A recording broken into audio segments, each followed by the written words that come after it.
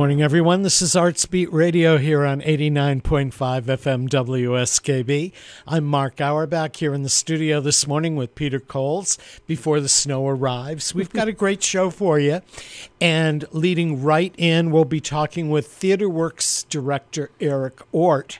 And uh, TheatreWorks has an opening night tomorrow night of a play called The Legend of Georgia McBride. Good morning, Eric. Good morning, Mark. Thanks for having me. Oh, it's always a pleasure to have you here.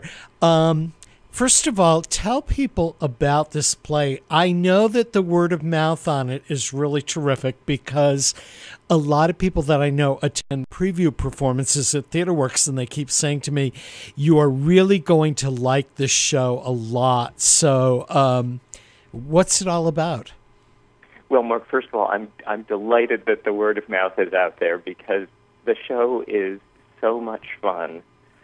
So we, uh, the Legend of Georgia McBride is the story of Casey, who is an Elvis impersonator in a dive bar in the Florida Panhandle. And on the day that he and his wife learn that they're going to have their first baby, he gets fired because his Elvis act isn't bringing in the audiences they need, and his, the bar owner brings in a couple of drag queens and turns his bar into a drag bar. And um, under a set of circumstances, Casey has to eventually go out and start performing in drag. And so it's his story of how he grapples with that as a way of supporting his family. Well, is it a play with music? I mean, there's a lot of um, choreography and a lot of performance as part of it, right? Absolutely, yeah. The the the fun of the show comes from two things. One, it's it's brilliantly written, and I, I know we'll talk about Matthew Lopez, but um, the the other great fun of it is there are all these drag numbers in it, especially this one montage as Casey's trying to figure out who his drag persona is, uh, with with terrific music in it. Um, uh, from Judy Garland to Loretta Lynn and Reba McEntire. Um, it's it's just the the, the drag is uh, it's both hysterical and um, and so much fun to watch. I learned as I was doing research for writing a story about the play that Jim Parsons from The Big Bang Theory has optioned the film version of it, and that mm-hmm. the playwright Matthew Lopez um, is a real up and coming uh, playwright, and his previous play, Reverberations, had its world premiere at Hartford Stage. Um, but The Legend of Georgia McBride has been around for a while, I believe. Um, how did you guys How did you guys discover the play? Well, you know, it's been something that Rob, uh, so Rob Ruggiero, our producing artistic director, who's actually directed The Legend of Georgia McBride, um, with the kind of precision that he brings to the musicals he's directs and the kind of heart that he brings to the uh, the plays, the dramas that he directs. But it's been something that's been on Rob's to-do list for, gosh, probably about three years now.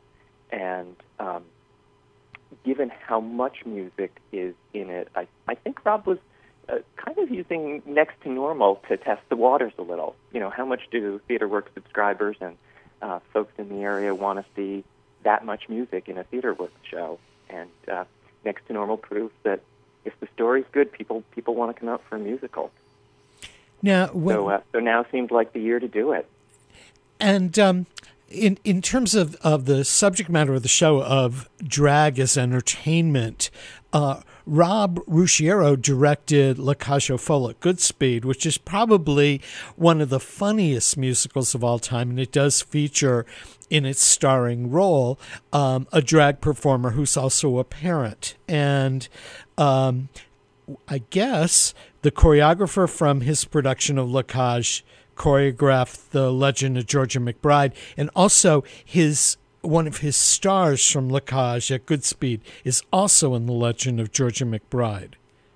Absolutely, yeah. Jamison Stern, who played the role of Albin and Zaza at the good in the Goodspeed production of La Cage, is uh, is in Georgia McBride. We are thrilled to have him, and uh, he is playing the pivotal role of Miss Tracy Mills, who is the um, the the drag queen who the cousin of the bar owner who comes in and helps helps save the bar.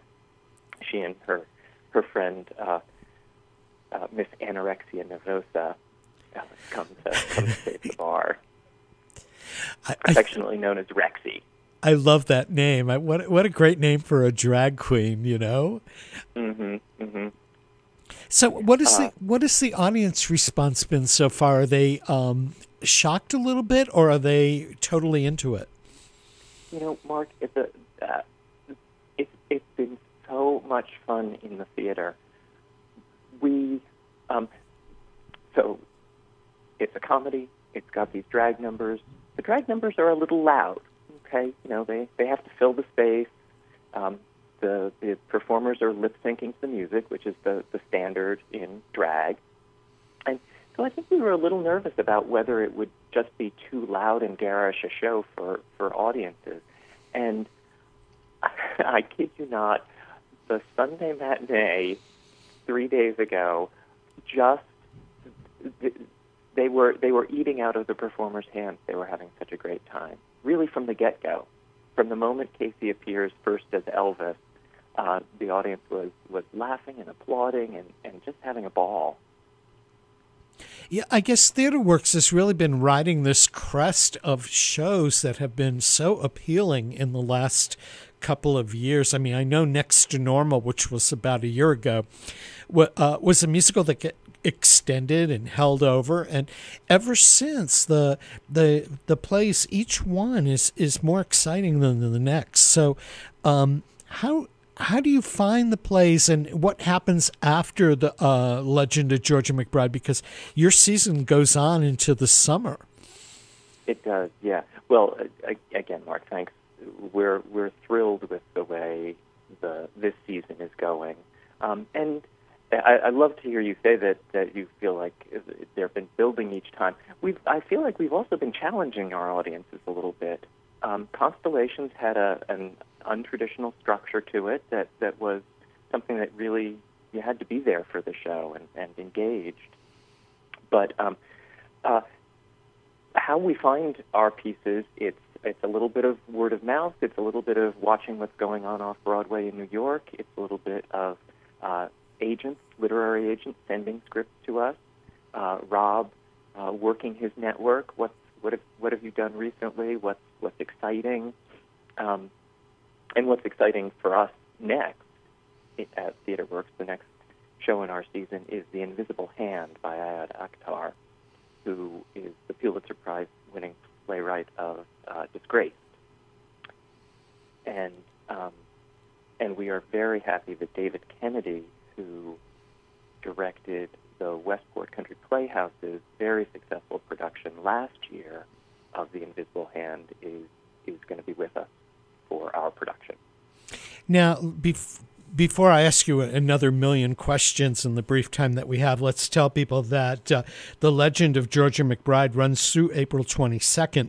And if you're interested in getting information about TheaterWorks while we're chatting or afterwards, it's theaterworkshartford.org. Eric, um, one of America's most famous drag entertainers is doing a benefit performance for you guys this weekend. And that's the infamous Varla Jean Merman. And correct. I, I was thinking when I realized that Varla Jean was going to perform at TheaterWorks, how much that drag entertainment has been a part of American culture over the last 30 years with La Cage aux Folles on Broadway in the mid 1980s to RuPaul's Drag Race on television. Um, drag is really entertaining. Mm-hmm. Absolutely. It's, well, uh, for, for some of the, I'm, I'm thinking of Georgia McBride now in the story. So for some, uh, some of the characters, yes, it's about entertainment. It's about uh, business. In the case of Eddie, the bar owner, um, but there's also a really remarkable moment where uh, Rexy um, talks about what drag is as uh, a political statement, and it's it's a, it's an absolutely beautiful moment um, uh, uh, that that reminds everyone that drag as as much as it's coming into the mainstream on your television set, um, you know, grew as a subversive uh, way of, of having a voice for, for voiceless people. So it's it's it's a show that also has a really interesting kind of sneaky conscience to it too. Well, I think that makes that makes for good theater when you sit there and you laugh, but you walk away with something afterwards that makes you think, or is a little bit provocative, or makes you wonder and ask questions. That's what good theater is. Absolutely, absolutely.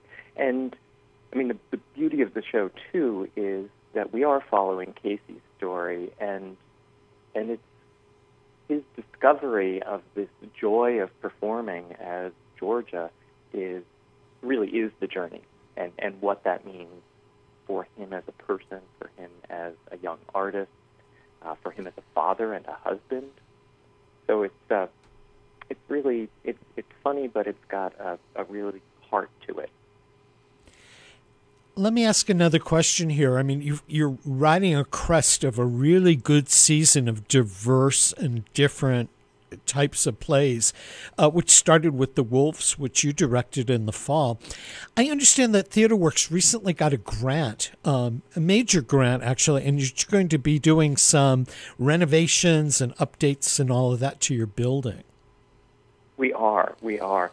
Our our board and uh, Rob have been in the planning stages for, gosh, I think it's probably about three years now, maybe even longer. But um, to, uh, well, let me take a step back. We are very fortunate in that TheaterWorks owns the City Arts on Pearl building at 233 Pearl Street in Hartford. Um, it was a very wise investment that the, the theater made uh, probably two decades ago or so. And um, but it's a 1927 building, so the systems are, you know, a little old. So part of this project is to to look at the building overall. But I think for our patrons, the most exciting thing about it is that um, that the, we're going to give a little attention to the theater itself to just give us that much more ability in that small space to produce the the most um, provocative, um, beautiful, high production value shows that we can in there. So there's some things that are specifically addressing the patron experience, where most theaters do when they renovate, expanding the bathrooms, making sure we have enough, um, but also uh, raising the lighting grid in the space.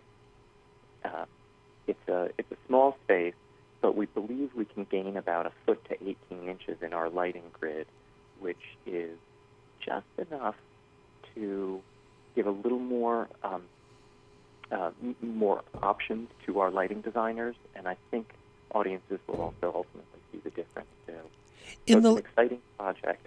In the previous play, Constellations, um, you kind of reimagined the theater and made it almost a theater in the round.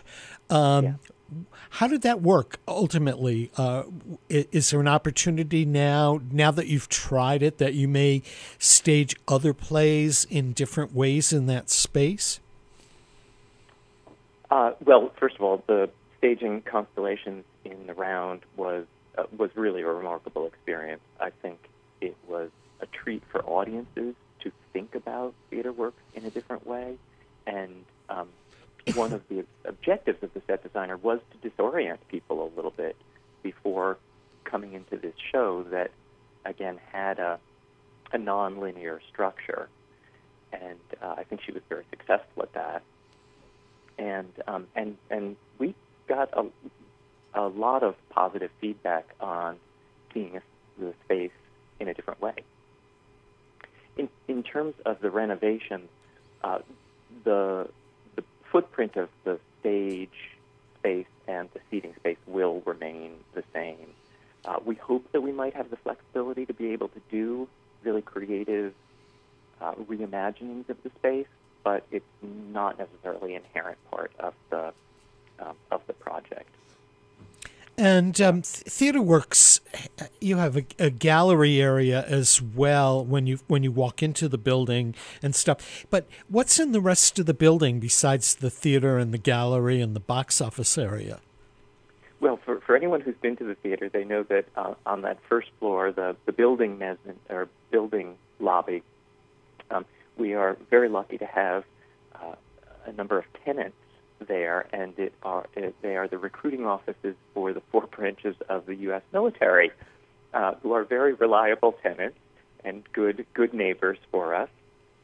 And uh, on the third floor of the building, we have other arts organizations uh, and artists who are tenants in the building as well. And uh, TheatreWorks and City Arts on Pearl are, are very happy to be able to uh, lease those office spaces at uh, below market to some of our uh, fellow arts organizations and, and really be a hub for uh, other organizations and artists. It's a, it's a real treat. So as we as we go into this renovation, which uh, I would be remiss to not say that uh, we are, we're very lucky to have received a, a generous um, grant from the State Bonding Commission, which is really helping us do this work and generous support from uh, a handful of, of um, individual donors to let us dig into this project. How many? Uh, I, I know that when TheatreWorks does a show, you can't depend solely on box office revenues. Um, how many donors do you have to TheatreWorks? Because you do a lot of really good stuff on a small budget.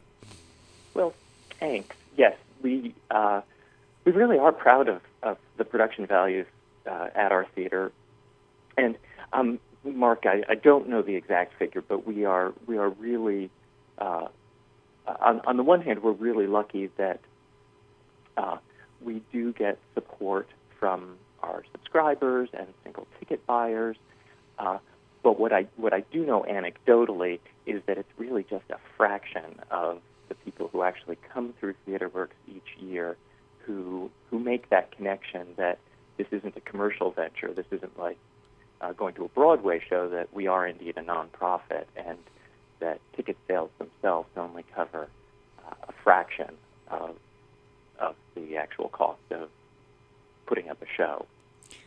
So we're always trying to get that message out, and we're always grateful for anyone who uh, takes the time to uh, support support us as a as a nonprofit. Eric, before you run off to rehearsal, I have a question for you. The very funny um, playwright Jacques Lamarre uh, has done works at TheatreWorks before, and last summer uh, uh, TheatreWorks did the world premiere of his play Raging Skillet, which is a food based show. I understand that um, he's in town and he's going to be doing a benefit uh, at the Mark Twain House, which you're moderating where the three muses of his three plays about food are gathered together and food will be served as part of it. Uh, what's your role in this entire thing? Mm-hmm. Well, I was I was uh, delighted when Jacques got in touch with me and asked me if I'd be willing to moderate it because, uh, well, first of all, I'll, I will have no uh, role to do it all because all of the people who are going to be on that stage uh, talking about food and theater and art uh, don't need somebody to moderate. They are going to be brilliant together. Um, so it should it should be a lot of fun. And uh, if, there are two things everyone should put on their calendars in addition to Georgia McBride, uh, it would be coming to the Mark Twain House on Wednesday, the 18th of April, for this panel discussion. And then for those who really do want a deep dive into drag, to to join us at TheatreWorks this coming Sunday, March 25th, for the Varla Jean that you made reference to. And and Jacques Lamarre has written a lot of Varla Jean Merman's material. I, I've noticed when I've watched some of her videos on YouTube, uh, it says, you know, written by Jacques Lamarre. So Absolutely, yeah. Jacques was the, the co-author uh, with Jeffrey, who is the um, non-drag half of uh, Varla Jean's personality. Uh, they were the co-writers of, of this piece that, that will be at TheatreWorks on the 25th. Well, that show's called Bad Heroine, and um, the show at TheaterWorks right now is called The Legend of Georgia McBride. It runs through April 22nd. Tickets and information for everything we talked about this morning is available at theaterworkshartford.org. Eric Ort, thanks for joining us this morning. It's always a pleasure to chat with you. Mark, thanks so much. Have a great day. You too. Uh, we're going to take a quick break here to thank our underwriters. When we come back, we'll be talking with the author Jean Yoakum and her book, The Self Employment Survival Guide. I had Jean on the Westfield News Show last week, and she really had a lot of good advice. And today we're going to kind of narrow it in for some of you self employed artists and dancers and choreographers and poets and actors and writers and all of that good stuff. And later on in the program, we'll be meeting Meredith Atkinson from Playhouse on Park in West Hartford, talking about some of their upcoming productions. You're listening to 89.5 FM, WSKB. This is Artsbeat Radio, and we'll be right back. Support for the community programming of WSKB is provided by Commercial Distributing Company of Westfield. Now in its third generation of family ownership, Commercial is one of the premier beverage distributors of Western Massachusetts. The Plasick family and the staff of Commercial Distributing wishes you good times throughout the year and urges you to drink responsibly. Support for the community programming of WSKB is provided by Comcast and Xfinity.com. With the Xfinity Double Play and Xfinity Triple Play, you can choose to bundle Comcast services for a great value. Experience Xfinity TV, Internet, home phone, and home security services. Explore all that Xfinity has to offer in the Westfield area on the web at xfinity.com. We thank the generosity of our underwriters. For more information, please contact the Westfield State Foundation at 413 572 8646. Friday mornings is something different on 89.5 FM. It's JP's Talk About Town. Community Radio. 89.5 WSKB. Live from the campus of Westfield State University. This is 89.5 FM, WSKB, Westfield. Welcome back, everyone, to Artsbeat Radio here on 89.5 FM WSKB. I'm Mark Auerbach. Don't forget to tune into Artsbeat Radio on uh, Wednesday, April 18th. We'll be having Chris Roman talking about the new play, musical play Tartuffe, opening the Silverthorne Theater. We'll be having Paul Marte from the Bushnell talking about the Bushnell's upcoming Broadway series, which includes Hamilton, which people have been waiting for for a long time. And we'll be talking with Ilona Somogyi, who's the costume designer for the Will Rogers Follies, which opens the Goodspeed season. So April showers will bring April Artsbeat and some really cool guests. And if you're listening tomorrow morning on the Westfield News Show, I'll be standing in for Patrick Barry. And for an entire two hour show, we're going to be talking with the good people from the Berkshire Theater Group. They are celebrating their 90th season opening this summer, and they've got a great lineup. We'll be talking with uh, Kate Maguire, who is the CEO, and, and about the history a little bit about the Berkshire Theater Group, because 90 years is a milestone of theaters here in Western Massachusetts and Western New England. And we'll be talking with Travis Daly, who's going to direct Tarzan at the Colonial Theater this summer, and Daisy Walker, who's going to direct a revival of Hair at the Unicorn Theater, which is all part of the Berkshire Theater Group. That's tomorrow from 6 to 8 here on 89.5 FM WSKB. Peter Coles is a newly blonde man, and he's here in the studio engineering, and Jean Yoakum's on the phone. Good morning, Jean. Hi, Mark. How are you? I'm good. Uh, thanks for sending another nor'easter up our way. Um, well, thought, it's snowing here, too. I thought it was going to be spring today, but I guess not. No, we have. Well, we're heading towards an inch of snow on the ground here in Durham, North Carolina, and of course that brings everything to a screeching halt. Uh, fortunately, it's not sticking to the road, so I think people will be okay. Last week, we had a chance to chat on the Westfield News Show, and uh, there was a lot of people responded, and they said that you offered a lot of good advice with your book, The Self Employment Survival Guide, which comes out on the um, Rowman and Littlefield uh, imprint uh, April 8th, which is just around the corner. So I thought I'd have you back today on Artsbeat Radio to talk a little bit about self employment strategies because most people that are in the arts are self employed. When you think about it, poets, writers, actors, dancers, musicians are, are all business people. They run a business of making art. So, my first question to you is why a book about self employment and survival strategies, and why write it now? Well, there's been phenomenal growth in self employment, and by the year uh, 2027, it's projected that a full 50% of the workforce in America will be self employed in one way or another. So, with, with self employment growing at three times the rate of the overall uh, uh, employment in America, this seems like a good time.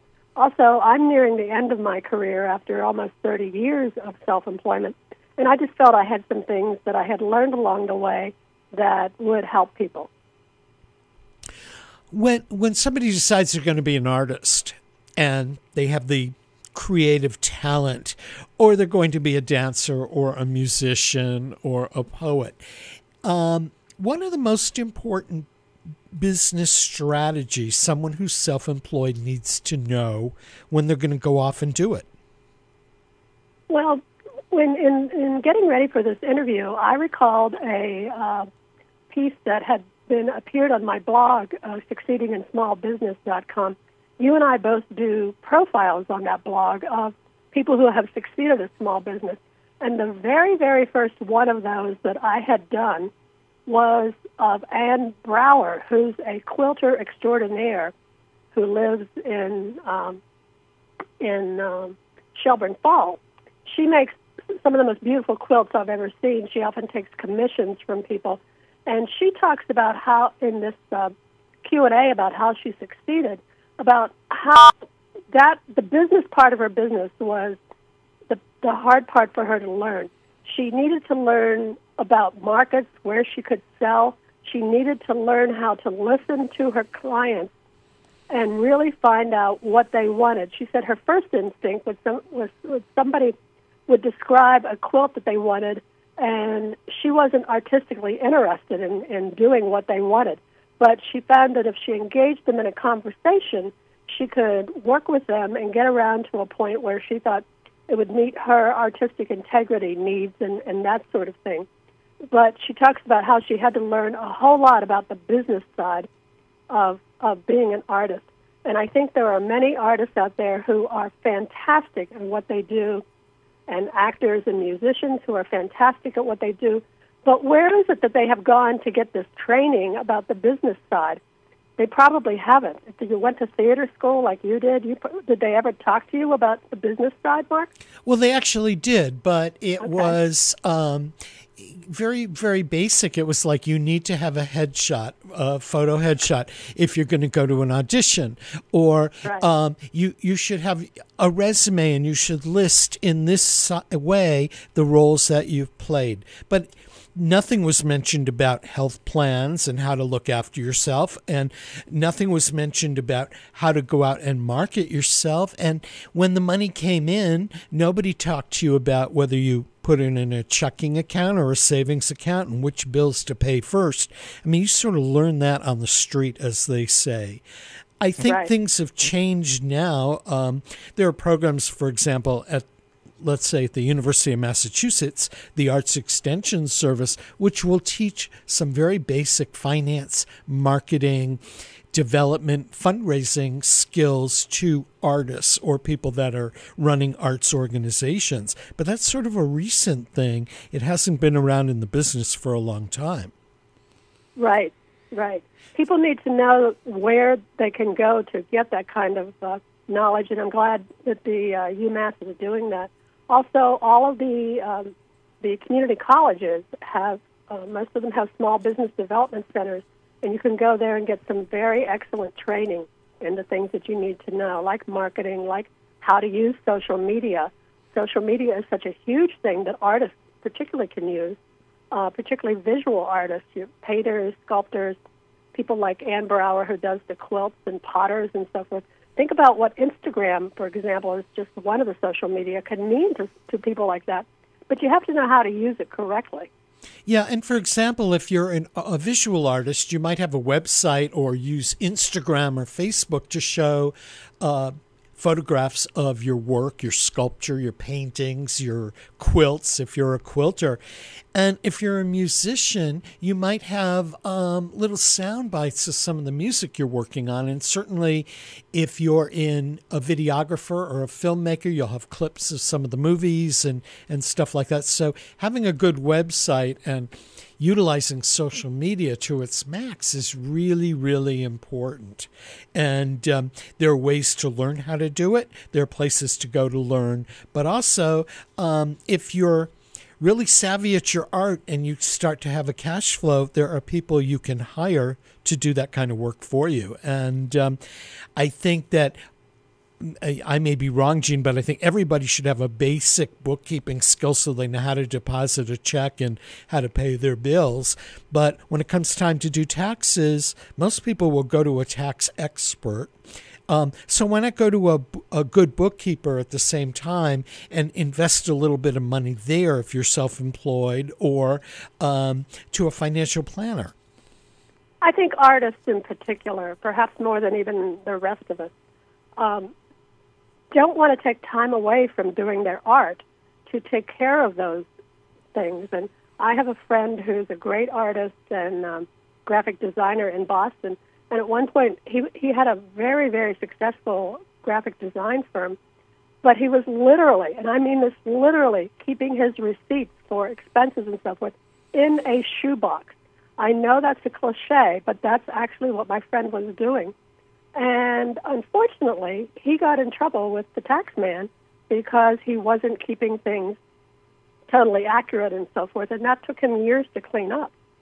So you you you may not want to take time away from your art to focus on what seems to you a very mundane and boring activity, keeping track of your expenses, the money that you spend out um, on your art, or the money that's coming in although hopefully that's not quite as boring. Who doesn't? I love to send out invoices and I love to get the checks. I'm sure you do too, Mark. Oh, I love going to the bank. I mean, it's just it's yes. it's always a feel good thing to put the money in when you right. look at the at the bottom line and you don't have the money to write the checks to pay for everything. Then it's a whole different feeling. Right. Exactly. What but is... you have to you have to spend time on the business side in order for that to come uh, into its own in, in order to succeed. You can't just sit around and um, make a lot of art and think that people will just miraculously come to you. You have to learn to market yourself, find out where you can go, who you can talk to, network, network, network.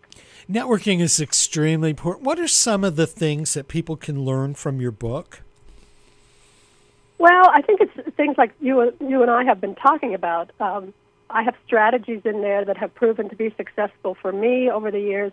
And then there are seven people, including yourself, who are also in the book who have given who are giving advice.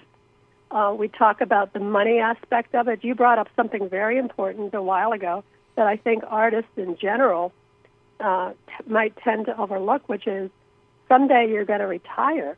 Now, maybe you will never give up your art totally, but at some point you'll need to slow down probably, um, unless you're going to, as they say, die with your boots on. But you need to to look at those things, and and maybe you want to set aside some money so that you can travel later in life and that sort of thing. So you need to learn how to do that, um, how to plan for retirement, how to plan. One big thing you and I both have faced is health issues uh, people don't think about that, particularly when they're young artists and they're just starting out. Something may go wrong. Uh, you and I have both suffered from vision issues and have had to have eye surgery, which, as writers, could have put us out of business. So you have to make sure you have the proper insurance in place, all that type of thing, to help you through um, emergencies like that. Yeah, that's and something. That's something uh, that people in the arts don't think about that often. Right. But if you're a dancer uh, particularly a ballet dancer, your career could technically be over due to one slip on a, during a performance, or one fall, or one broken foot, and maybe the dance company that you're dancing with has a good health plan that'll take care of that specific injury. But what happens if you come to the point where they say, well, you need physical therapy for the next eight months and you won't be able to dance? And if you can't dance, you can't bring in a paycheck. Or what happens if you're a musician and you play the trumpet or the trombone or the tuba and you're in a car accident and it does something to your teeth? Um, I had a friend who was a trumpet player who was in a car accident and uh, had a couple of teeth knocked out. It changed the timbre and the tone of their playing until their teeth were fixed. Where does the money come from? What do you do? So these are things to think about, and there are strategies as self-employed people to find health insurance as and sometimes it's really expensive but sometimes with some good forethought and some planning it's there um, what do you do if you can't do your art anymore uh, where do you turn um, how much money do you put away uh, do you create a painting or a sculpture on speculation or do you if somebody says i need a mural that's five foot by 10 feet for my living room and I need it in these colors and you're going to create something specific, how much money do you ask for up front? These are all self employment survival strategies. And I, I think from reading the book, Gene, there's a lot of it in there that applies to non arts and non creative economy type of people, but there's so much that can be called for the arts and the um, creative economy specifically. Well, Mark, when you when you talk about um, make somebody asking you to do a mural and so forth, the thing that comes to my mind is also something that we that I talk about in the book, which is knowing what your personal values are. Artists like to think that they have artistic integrity. So, how much, if you're in a tough spot, your cash flow is not what you want it to be, and so forth, how much are you willing to bend to do something that maybe wouldn't be your first choice to do, but it's got to have your name on it. So how do how do you make those decisions? Have you run into artists who are dealing with that type of thing? I have. Um, I mean, there are times, wh- or- and you know this from being a writer, as I do from being a writer. Well, somebody asks you to do something, and it's not something that you really feel you should be doing, but you need the money, and you you kind of leap off of the path that you are best known and most comfortable in to pursue something that might be a challenge to you. For example, no nobody in their right mind should ask me as a reporter to cover science. I'm an arts reporter and yet people will ask me, "Could you do this or could you try that?" And you have to know what your comfort level is. I mean, I would feel I think you'd probably feel pretty much the same way, right? Right. I mean, if somebody asked me to write about sports, yeah, I follow sports, but I don't know the intricacies and so forth, so I can't write about that. Also, once I started writing, ghostwriting business books, I started getting requests from people wanting to me do wanting to, me to edit all sorts of other books like memoirs, um, fiction novels, and so forth. I'm not skilled at that. Um, I read a ton of novels, but I've just never put myself out there as somebody who could do that. So what I do is try to find them somebody else, send them somewhere, uh, like to the writers union, where they might be able to find somebody who has experience in that and would do a better job for them and not just take their money. Well, Jim, we only have a couple of seconds left here. And first of all, I wanted to reiterate the book comes out on April 8th. And how can people pre order it? It's available for pre-order on Amazon and on Barnes and Noble online and on millions of books online. And so if you want to learn more about the book, they could go to succeedinginsmallbusiness.com and there's a link right on the homepage that will take them to a page that will tell them more about the book and its content. And the And they could also download the first chapter for free. Wow, that's great. The other thing we should tell people is you'll be on uh, swinging through New England on a book tour in June, and you on I believe it's Saturday, June twenty first. You'll be stopping by the Blue Umbrella Bookstore just down the street from us in downtown Westfield to chat about the book and uh, meet people and uh, folks that are listeners have a chance to ask Gene some questions that you might have about how do you succeed um, in, in being self employed and what survival strategies do you need to know? Uh, Jean, when you come up here in June, can you bring some warmer weather for us? I hope so. I'll, I'll be very disappointed if it's still snowing there when I get there in June. Well, we're going to do our best to, to kind of fast track into summer when you get here. We've been okay. talking with Jean Yoakum. Thanks for joining us. Uh, her new book, The Self Employment Survival Guide, is coming out on April 8th, and uh, you can pick up a copy of it by going to her blog, Succeeding in Small Business. When we come back, we'll be talking with Meredith Atkinson from Playhouse on Park in West Hartford. It's a theater company I'm not very much aware of yet, but I've learned some very interesting things about. This is Arts Beat Radio. I'm Mark Auerbach with Peter Coles here in the studio at 89.5 FM WSKB on the Westfield State University campus, and we'll be right back. Support for the community programming of WSKB is provided by Westfield Bank. For more than 160 years, Westfield Bank has been an important community presence and commercial leader in the Pioneer Valley, with convenient full banking services in Westfield, West Springfield, East Longmeadow, Agawam, Feeding Hills, Springfield, Southwick, as well as Enfield and Granby, Connecticut. Visit us on the web at westfieldbank.org. Support for community programming on WSKB is provided by Betts Plumbing and Heating Supply Company, an independent, family owned wholesaler serving Westfield for over 50 years specializing in plumbing, heating, and industrial piping supplies. Visit bettsplumbing.com or 14 Coleman Avenue, Westfield. Public welcome. Support for the community programming of WSKB is provided by the Barnes & Noble College Bookstore at Westfield State University, right here in the Ely Campus Center. Whether you're a student, faculty member, or friend of the university, it's the place to shop. Everything from Westfield State t-shirts, sweatshirts, and gift merchandise to all of your academic needs offering textbook materials in new, used, ebook, and rental formats. Visit the bookstore on campus or online at www.westfieldstate.bncollege.com. We thank the generosity of our underwriters. For more information, please contact the Westfield State Foundation at 413 572 8646. Thursday morning from 6 till 8, it's Patrick Berry owner of the Westfield News Group. Community Radio. 89.5 WSKB. Live from the campus of Westfield State University. This is 89.5 FM WSKB Westfield.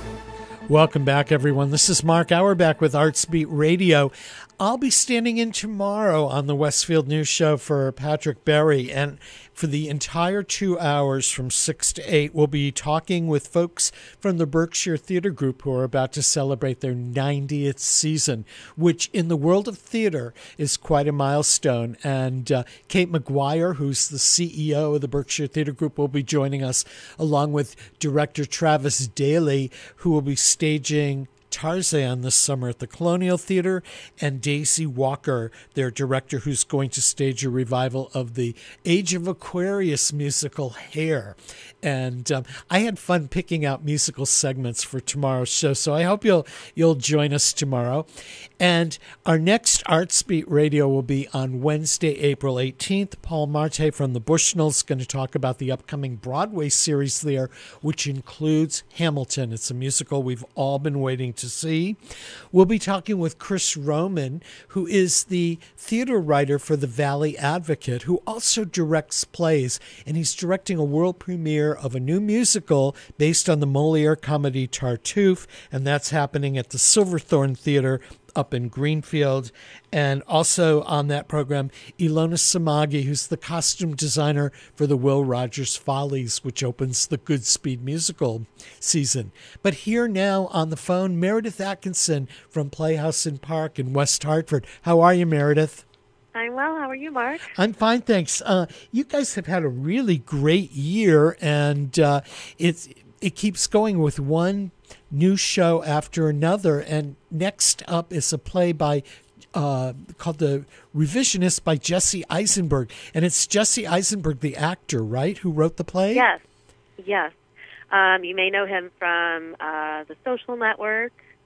Um, also, some indie movies, uh, Zombieland, I think is one of them. But he's also um, contributor to The New Yorker as well. Um, and this is his play. Um, it is actually the New England premiere of this play. We're very proud, very excited for that. Um, our cast arrived yesterday, um, and they're already fabulous. Got in on a, a rehearsal. So yeah, that's coming up. We open on uh, April 11th. And what what is the season afterwards? I mean, you go right into the summer, correct? We do. Um, we um, round things off with um, In the Heights, um, and that finishes on July 29th. That opens on uh, June 13th. That's um, by a playwright. I don't know. Some of your listeners might have heard of him. His name is Lin Manuel Miranda. You know, he has a Yeah, little show. he, he wrote that American history musical that people are lining up at the Bushnell for, and it doesn't come until December. Exactly. Um, but yeah, that um, In the Heights runs the 13th of June through July 29th, and then we do take um, take the month of August, and we open usually the first or second week in um, September with our um, our 10th season this year. So very excited about that. Tell me a little bit about Playhouse on Park and how it came to be. So we um, we are, like I said, we'll be um, in our 10th season next year, and we are a, uh nonprofit professional theater. So um, to translate for your listeners, we um, we employ equity actors from um, around the country, um, but we also hire locally as well. Um, we run auditions in both New York City and um, Connecticut. Uh, we also have there's always something going on. The lights are never off here, ever, ever. Um, we also have an education department as well um, for um, young actors. Um, we have comedy nights. Uh, we bring in a couple stand-up comedians, um, usually a BYOB. That's always a good time. Um, and um, what our major draw is the main stage series, um, which is uh, seven shows strong um, always um, a dance show in that run uh, with our original, um, excuse me, our uh, resident dance company, um, two musicals, and the rest are dramas. Wh- a lot of people here have never been to Playhouse on Park, and I know it's in West Hartford. Um, where is it? Can you park there? Places to eat nearby? It's it's in the heart of West Hartford, correct? Yes, correct. So we're we are on Park Road. Um, the area is awesome. There are a lot of great um, small, independently owned businesses, from um, gardening stores to um, cocktail bars to restaurants. Um, it's a really, really lovely area, and it's um, really accessible too. Um, we actually are neighbors with AC Petersen um, ice cream shop, so that's always a nice little spot. Um, it's a that's a landmark here in West Hartford, so a lot of people know if you know where the ice cream place is, then we're right next door. Um, parking is very easy too. Um, we're very accessible to uh, to the public. Um, going back to the next play, The Revisionist by Jesse Eisenberg, uh, what is it about? Is it a comedy, a drama? And um, it is the New England premiere. Where had the show been before? Um, it was featured off Broadway, um, and it was um, it was brought here because my um, my two artistic directors, um, Sean Harris and Darlene Zoller, had a really they had a really deep connection with it. It's a comedic drama, and it um, it features um, a young science fiction writer named David who experiences writer's block. And he um, he knows that he has um, a long lost relative in Poland um, who um, is opening up her home to him, and so he figures if he can get away, work through his writer's block, and just take time off, then he'll be all set.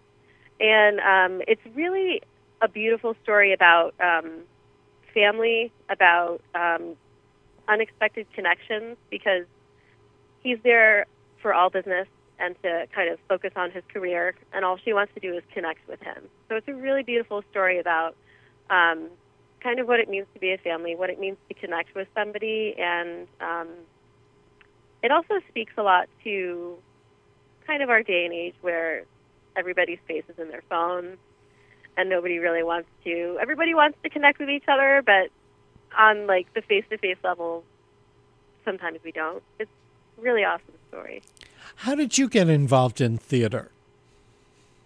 um i actually um started um started back up with um with a dance a tap class here locally i needed to have some sort of outlet as a dancer and i um I met our co-artistic uh, director, Darlene Zoller, who is my tap teacher, and we um, it kind of went from there. Um, an opening happened at the theater here, and um, marketing is in my background, so that's kind of how I got into the theater. Scene. So you came to the theater from the world of dance. yeah, yeah. And and and you do have a resident dance company that performs uh, every year. Uh, Stop Time, I think, is the name of it. Correct? Yes, yeah, we're actually in the middle of our run right now. It's going really well. Um, five shows remain, and they're all nearly sold out. Um, we are celebrating our 15th year. Um, we began um, not here at the theater, since the theater's um, Playhouse on Park has only been in existence for about nine years. But we, um, Darlene started the dance company and did some shows in the local area, and then when she found out that the theater was for sale, the rest was history, and we've been the resident dance company ever since. Now, working in theater, but coming from the world of dance, some of this theater is maybe new to you. Has there been a particular play or musical that Playhouse on Park has done that personally impacted you, and you said this has made you really glad that you work in theater? Oh, that's a good question. Um, I think two stand out to me at this point. Um, last year, we um, ran Title of Show, um, which was a great, cheeky comedy about. Um, it's a play about writing a play, kind of very meta. I, I just I loved that, um, and that was also it. Also, kind of touched on, you know, what it is to to finish college and figure out what to do after that. And was, I just thought it was a fabulous musical. Um, and then our last show, Intimate Apparel, was really beautiful, um, written by uh, Pulitzer Prize winner Lynn Nottage. It was something I wasn't really fami- familiar with, but um, it's a really, really beautiful and powerful story about um, love and life and loss and grief. And, yeah, so those those two really stand out to me. Do you get a chance uh, to see what other theaters are doing now? And uh, do you, when you go to a play somewhere else now, do you see it in a different light? I do, yeah. I'm always kind of um, when I do go, I'm always looking at the a lot of the technical things, and I'm always kind of just looking at the behind the scenes. Of course, I'm looking at the production and, and the play and trying to focus on that. But I also, um, it's hard not to to look around and just watch to see how the place operates and just how it comes to life in that respect. Um, I recently saw um, Constellations over at TheaterWorks, and that was that was beautiful. Yeah, I, th- I think we're very lucky in this area, um, partic- in the Hartford, Springfield, Westfield area, to have so many theaters doing such interesting stuff. I mean, every time you look to see what's on the calendar for the weekend, there's really a diverse set of offerings, and certainly Playhouse on Park is is a major contributor to that. Yeah, we we truly believe so as well, and um, we have also been we've been recognized by the um, Connecticut Critics Circle, which has been a real honor to us. Um, and we've had visits from the Times as well, and we are so so happy to be a part of this theater scene here that is certainly thriving and really has a lot to offer. To um, Well, we should probably interrupt here because people are probably saying, well, how do I find out more information about Playhouse on Park? So, how can they find out about the rest of the season, either by phone, by email, and website, or whatever? So um, if you want to talk to one of our um, friendly box office representatives, we can be reached at um, 860-523-5900, extension 10. Um, we're always here to talk, um, or you know, sell you tickets. Um, our website is playhouseonpark.org, and we can also be found on Twitter and Instagram at Playhouse on Park, and on Facebook as well at Playhouse on Park Theater. So there's no excuse for somebody uh, who's listening to this show this morning to not be able to find you. You guys are all over social media. And we probably have, we have a couple of minutes left. We probably should talk about In the Heights because I, s- should. I, I bet that's going to sell out uh, way in advance. It is. It's selling very strong already. Um, both of our previews, I believe, are nearly sold out. Um, we still have some tickets for opening night, which is always a very exciting night. Love that. Um, we do a um, a nice cocktail reception beforehand, which is very fun. Um, but yeah, it's also it's it's selling strongly. Um, I think it has obviously it has a playwright going for it, um, but it also has our directing team of Sean Harris and Darlene Zoller as well. Um, people who are familiar with us may remember um, they directed Hair, Chorus Line, um, Cabaret in the past, and they're just a an awesome dynamic duo. And it's a Tony Award winning musical by Lin Manuel Miranda, who is probably best known now for this small musical uh, hit in New York called Hamilton. Yeah, Have you seen Hamilton? I have not. No. I can't. I can't wait till it comes to Hartford. I um, have tried several times to get tickets in New York, and there's always a line around the block. so uh, this guy is so mega talented, and I Yeah. I love the music to In the Heights. I've heard the uh, original cast recording several times. I got a chance to see it once on tour. I think people will be totally uplifted by it and want to dance in the aisles. Oh yeah, that's and we we um we're hoping that for in the in the heights as well, which would be awesome. Um, So if you're not actually, you know, to build off of that, if you're not familiar, or if your, your listeners aren't familiar with the theater, it is very intimate. We see 166, and we will be dancing in the aisles, and we hope they'll get us. and you're going to guarantee the dancing in the aisles. yeah. Okay, so give me a quick wrap up of what's coming between now and summer. Between now and the summer, we've got um, The Revisionist, as we were talking about earlier, Jesse Eisenberg's comedic drama, uh, April 11th through 29th. Um, also, not to be missed is our um, Theater for Young Audience series. Um, we are we employ um, professional actors to do um, children's musicals and dramas, and the next one coming up is Polka Dots, the Cool Kids musical. Um, it is uh, written by Douglas Lyons, who is a University of Hartford school graduate. And um, it's a really awesome story about um, celebrating differences, and um, that runs May 12th through the 20th. We also offer for that show um, special um, sensory friendly shows for children who have um, needs as far as autism and special needs like that as well.